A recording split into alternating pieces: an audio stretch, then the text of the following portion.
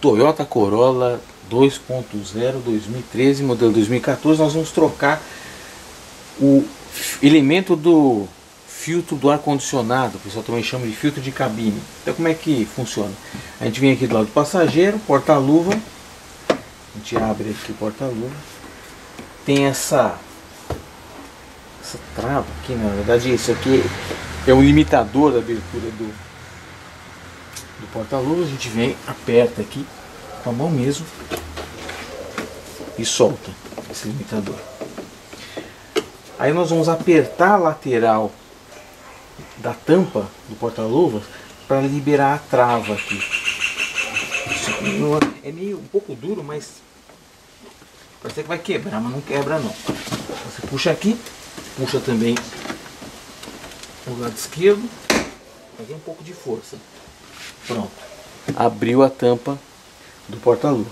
Dentro do, do, do que seria a área aqui do do porta-luva, a gente tem a caixa de ar e aí a gente tem essa essa tampinha aqui, tem uma trava aqui à direita, você aperta a trava e solta essa tampa. Aqui está o elemento do filtro do ar condicionado. É só puxar, dá para ver que ele está bem bem sujo, né? Bem contaminado o filtro usado com o filtro novo, a diferença é enorme.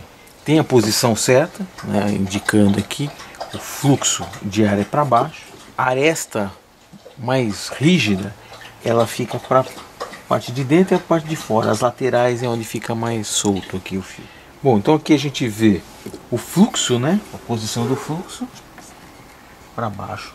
A gente coloca o filtro aqui como se fosse numa gaveta. Coloca aqui no lado esquerdo. Ele encaixa. Vem aqui do lado direito. Trava. É só empurrar aqui a, a tampa do, do porta-luvas. Vou colocar aqui ó, o limitador.